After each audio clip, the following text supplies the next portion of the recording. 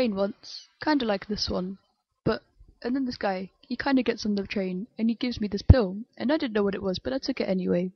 And it was alright, but then the walls started melting, and Cthulhu appeared. Cthulhu's actually a really nice guy. I don't understand why everyone hates him. It's probably because he lives under the sea, and people don't really like things that live under the sea. Like Jaws. People didn't like Jaws because he lived under the sea.